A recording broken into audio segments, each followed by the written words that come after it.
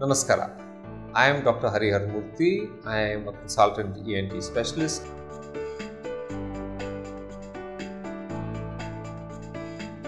Nasal obstruction, for whatever cause, can be quite distressing for a patient.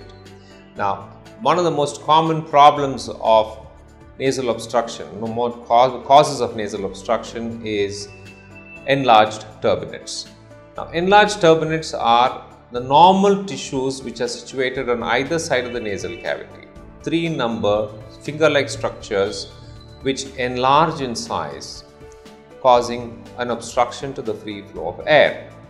Turbinates can are basically spongy tissue so they are filled with blood and uh, when you are lying down these tissues tend to swell up ever so slightly but then enough to cause an obstruction to free flow of air as a result of which there can be obstruction and one has difficulty in breathing.